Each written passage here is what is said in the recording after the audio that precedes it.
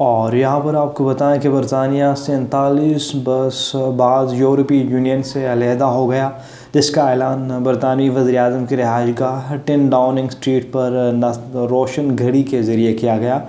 برطانیہ کی یورپی یونین سے علیحدگی کے بعد عبوری دور کا آغاز ہو گیا ہے، جو اکتیس دسمبر دو ہزار بیس کو ختم ہوگا۔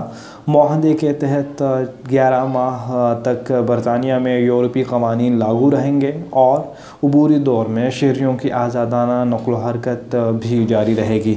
علیحدگی کے بعد برطانیہ کی اہم عمارتیں اور شاہراہیں برطانوی پرچم کے رنگ میں رنگ گئی ہے آپ کو اس خبر سے دوبارہ آگاہ کرتے چلے کہ برطانیہ سینتالیس برس بعد یورپی یونین سے علیحدہ ہو گیا ہے، جس کا اعلان برطانوی وزیر اعظم کی رہائش گاہ ٹین ڈاؤننگ سٹریٹ پر نصب روشن گھڑی کے ذریعے سے کیا گیا۔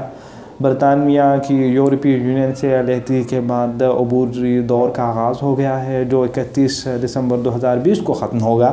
معاہدے کے تحت گیارہ ماہ تک برطانیہ میں یورپی قوانین لاگو رہیں گے اور عبوری دور میں شہریوں کی آزادانہ نقل و حرکت بھی جاری رہے گی۔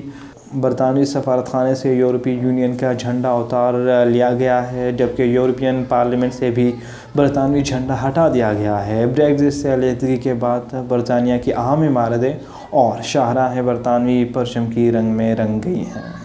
جبکہ آپ کو بتائیں کہ بریگزٹ پر کوئی افسردہ تو کوئی خوش اور کوئی برہم ہے۔ لندن میں پارلیمنٹ کوائر پر تقریب کا انعقاد کیا گیا، جس میں بریگزٹ کے حامیوں نے فیصلے کا خیر مقدم کیا، جبکہ برطانوی وزیر اعظم کے قیام گاہ کے سامنے بریگزٹ کے مخالفین کی جانب سے مظاہرہ بھی کیا گیا۔ خیال رہے کہ چند روز قبل برطانوی وزیر اعظم بورس جانسن اور یورپی یونین کے حکام نے برطانیہ کے یورپی یونین سے علیحدگی کے معاہدے پر دستخط کیے تھے۔